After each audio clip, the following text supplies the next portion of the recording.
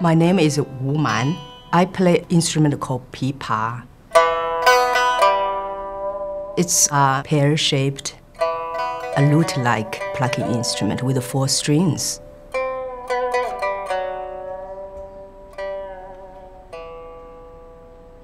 Pipa existed in China about 2,000 years.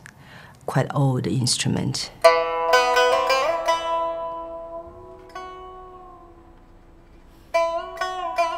A lot of painting and poem talk about pipa.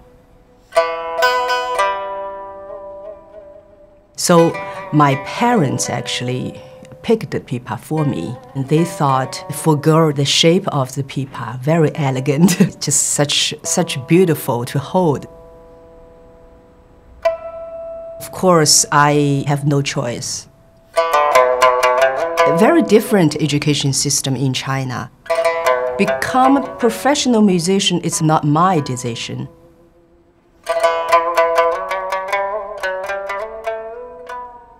I was nine years old, and I already knew that pipa will be, or music will be my, my career. I came to United States in 1990. It was really shock for a young kid. I grew up with no other country's music. I want to challenge myself. I want to see um, how the musician's life outside of China and how can I survive just play my traditional Chinese instrument. I really wanted to explore different kind of music, to work with the different musicians. So 1999, Mr. Ma had the idea of, of Silk Road Project, and he asked me if I interested.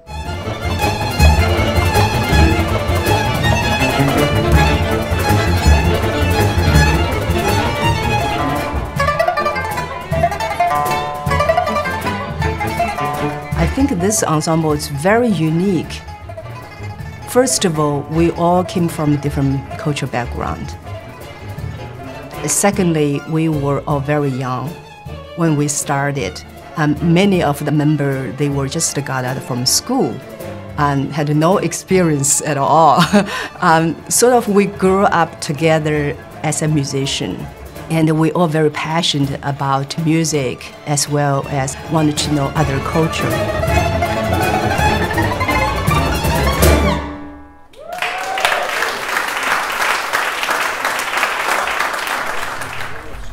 I have pipa and the shakuhachi on the bars 56. The, the pipa shakuhachi is before 56. So what is that? Cadenza?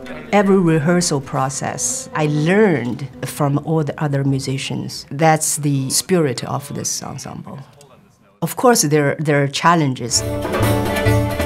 The sound of each instrument is very different. I remember first time I played with Mr. Ma, and his cello sounds a huge sound and played for the bigger concert hall without amplification. And for my instrument, plucking instrument, very different color of the sound and how can we play together? What is the balance? The coolest thing is that actually for the first time in my life, I'm actually seeing what Wu Man's talked about is that the pipa and the oud are actually together yeah, side by side. same color. I know, I know, I don't know how you, That's incredible. We called it this morning. You did, huh? It's a, it's a true coordination. Definitely. It's a band. I should yeah. cut my hair short. I think so, and wear glasses. we can all make the Beatles. A lot of details during the rehearsal process we have to figure out. Definitely, I changed the, way I play the instrument, or I changed, or I gained the knowledge about how I deal with the different music styles.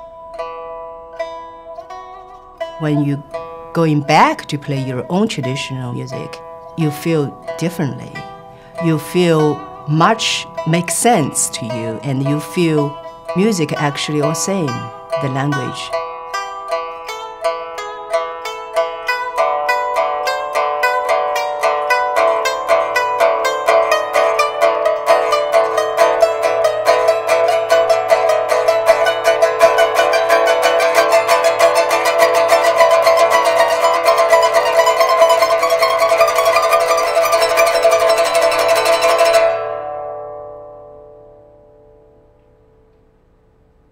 You know, people always mention the East means the West. I always laughing at that because, well, globe is round. So where is the East? Where is the West? It's just a different culture. I think I'm a very fortunate person. I had a chance to come live in the West, and I learned the both culture. That's the richest part for musician, for artist. There is no limitation. There's no box. Put myself there. I, I don't like that. I want to just get out and see the world.